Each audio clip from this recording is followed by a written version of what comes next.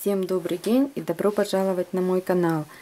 Вы, наверное, видели, как изготовить петушка из пайеток и из конфетти. Вот в таком формате.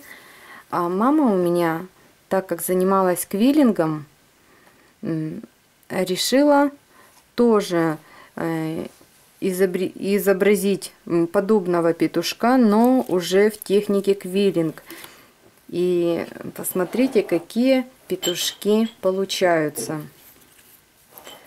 Вот что сделала она, какие работы. И какого петушка я решила сделать уже на свой манер. У меня получился вот такой шикарнейший петушок. Здесь, конечно же, ушло Э, немного больше заготовок, чем у нее, но петушок смотрится гораздо интересней. Итак, теперь переходим к тому, что же нам нужно для работы. Первое, это нам, конечно же, нужен диск. Это для того, чтобы сделать вот такого петушка. Если вам понравился петушок на картоне, то, конечно же, понадобится заготовка э, петушка, которую вы можете взять в интернете, а, и картон.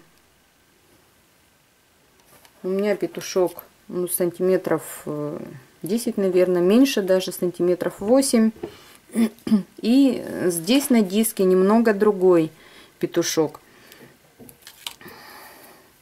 Далее, для того, чтобы заклеить вот это отверстие в центре диска, нам понадобится прозрачная, ну вот это вот от любых коробок, вот которые продаются там что-либо слюдяные, и вырезала кружочек и на скотч приклеила с обратной стороны. С обратной стороны, э, чтобы нам здесь можно было тоже работать с центром. Далее нанесла э, форму петушка, как сами уже видите, вот обвела. И желательно, конечно же, обвести фломастером таким, которые, которые по CD-дискам желательно, потому что в этом случае оно не стирается и рисуется четко.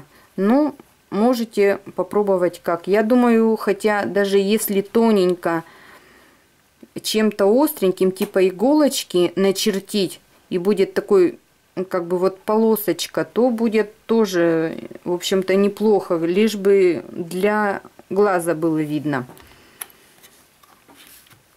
Далее я использовала, как уже кто меня смотрит, вот такой клей. Я его использую в основном в больших э, работах своих. Ну, скотч я уже сказала для заклеивания вот этой, этого отверстия. Можно использовать клей ПВА обычный и также нам понадобятся а, вот такие различные фигурки для квиллинга. Ну вот, э, я не знаю, как вот, э, я так как не занимаюсь квиллингом, у меня вот эти фигурки делает мама, поэтому а, вы можете посмотреть в интернете, как их делать. Там очень много видео, но единственное, что вот такого петушка я не нашла, так как Смотрится петушок очень интересно на диске. И мне нравятся работы э, вот именно на CD-дисках. Я э, решила вам предложить э, смастерить вот такую поделочку. Надеюсь, вам понравилась моя идея, вернее, идея моей мамы. И вы возьмете себе на заметочку. И я думаю, очень приятно получить сейчас, так как у нас год петуха, вот такую работу сделанную своими руками.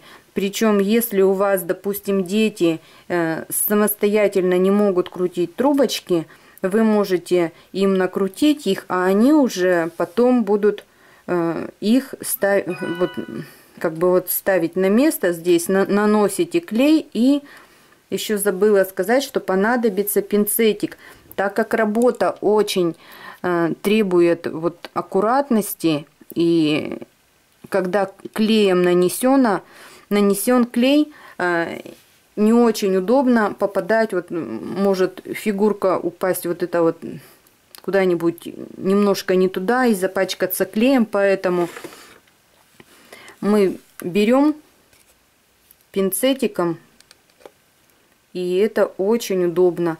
Уже укладываем э, конкретно туда, куда нужно фигурку, особенно даже вот такие маленькие, и очень хорошо получается поддевать.